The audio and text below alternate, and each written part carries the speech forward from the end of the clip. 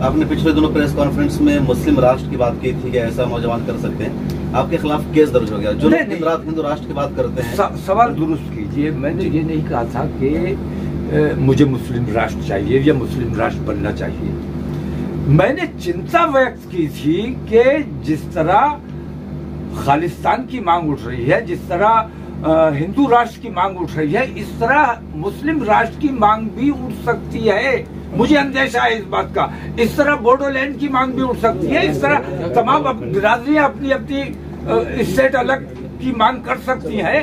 तो गणराज है हमारा भारत। हम इसको किसी भी सूरत में टूटने नहीं देना चाहते। हम चाहते हैं कि हमारे मुल्क में एकता और अखंडता बनी रहनी चाहिए।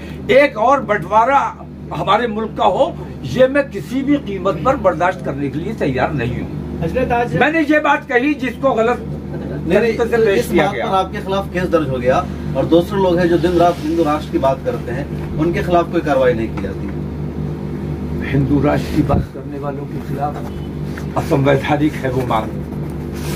क्योंकि देश में लोकतंत्र है। ये आरएसएस वाले नरेंद्र मोदी इन लोगों को तय करना है कि देश में लोकतंत्र रहेगा या देश हिंदू राष्ट्र बनेगा।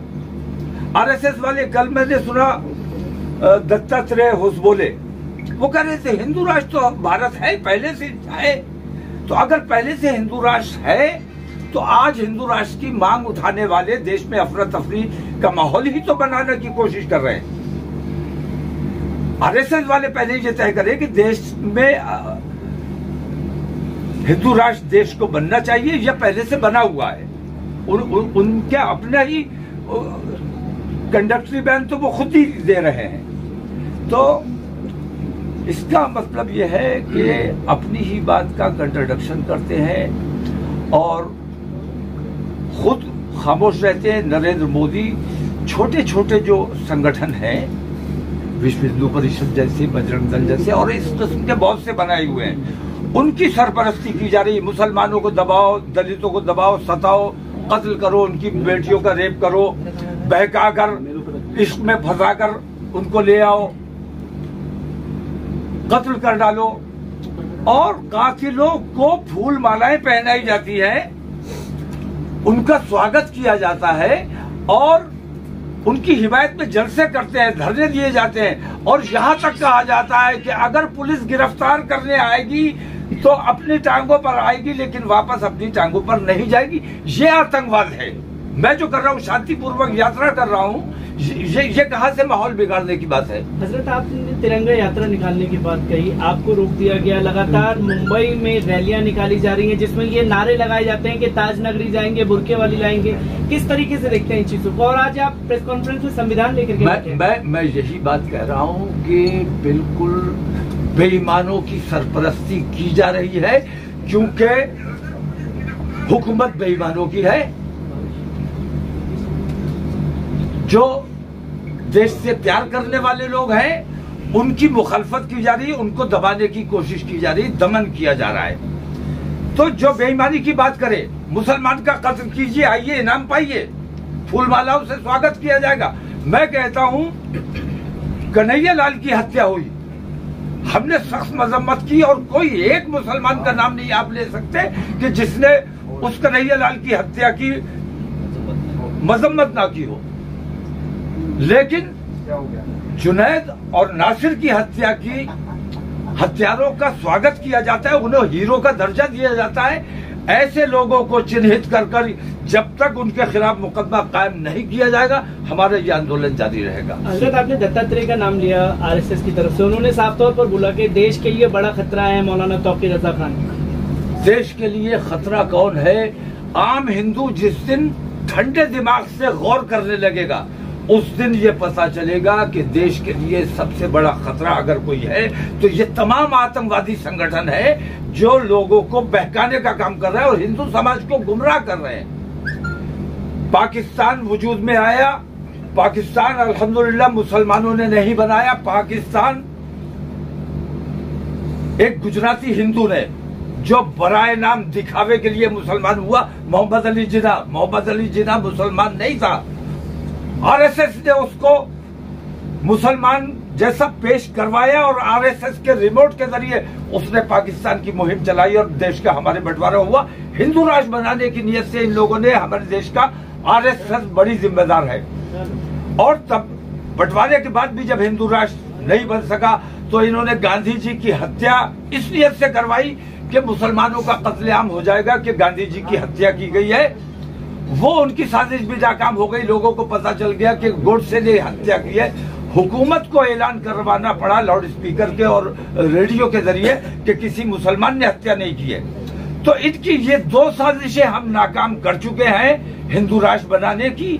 और आ, ये ये इस वक्त वही लोग जिन्होंने गांधी जी की हत्या की जिन्होंने पाकिस्तान बनवाने का काम किया वही लोग आज हिंदू राष्ट्र की मांग करने का काम कर रहे हैं। उनके खिलाफ देशद्रोह में मुकदमे कायम किए जाने चाहिए। सर आपने एक बयान दिया कि जिन्ना हिंदू थे तो उसका क्या सोर्स है? सोर्स आप देखिए तारीख मौजूद है। तारीख मौजूद है आप देखिए आप, आप आप पढ़ेंगे सब पता चल जाएगा आपको। मैं इल्ज़ाम नहीं लगा रहा हूँ। मैं तारीख में जो मौजूद है वो बता रहा हूँ।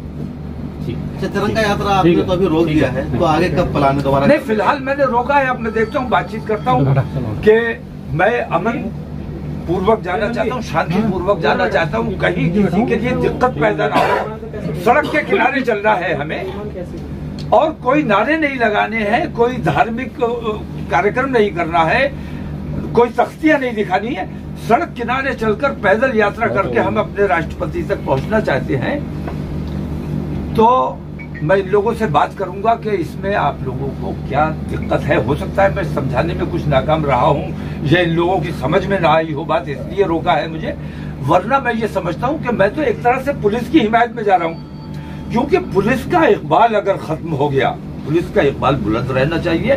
पुलिस से हमारा कोई झगड़ा नहीं है। कानून को किसी भी कीमत पर हाथ में नहीं लेना चाहिए।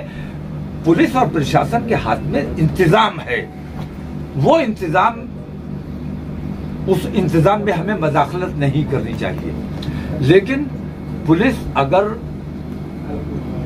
दमन की कार्रवाई करती है ज़बरदस्ती एक समुदाय विशेष को धर्म विशेष को अगर दबाने की कोशिश करती है एक बिरादरी विशेष को अगर दबाने की कोशिश करती है तो उसका अ, कड़ा विरोध किया। अब आपकी कौन सी मांगे हैं कितनी मांगे बयान किस तरह कौन सी मांगे हैं कितनी मांगे हैं और कब तक मांगे हमें राष्ट्रपति के सामने रखनी है वो तमाम चीज़ें हमारी तैयार है।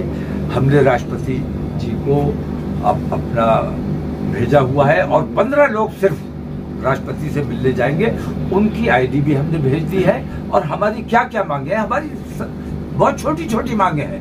कि देश में एकता भाईचारा कायम रखने की कोशिश की जाए, जो अफरा तफरी का माहौल बनाने की कोशिश करते हैं, उनके खिलाफ कार्रवाई की जाए, जो कत्ल कर देते हैं, उन पर जो नेम्ड हैं, उनकी हिमायत ना की जाए, उनको गिरफ़्तार किया जाए।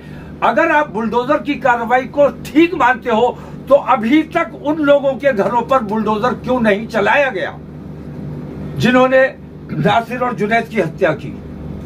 तो छोटी छोटी मांगे हैं ऐसे आतंकवादी तमाम संगठनों पर पाबंदी लगाई जानी चाहिए जैसे पीएफआई पर पाबंदी लगाई जैसे सीमी पे पर पाबंदी लगाई ऐसे इन आतंकवादी संगठनों पे पाबंदी जब तक नहीं लगेगी तब तक देश में शांति का माहौल नहीं बनाया जा सकता। ये पंद्रह लोग आपके संगठन से होंगे या दूसरे संगठन से भी होंगे? मैंने पूरे हिंदुस्तान से बुलाए हैं। पूरे हिंदुस्तान से और मुख्तलिफ़ सूबों से लोग आ रहे हैं। बीस तारीख को इंशाल्लाह वो दिल्ली पहुँचेंगे।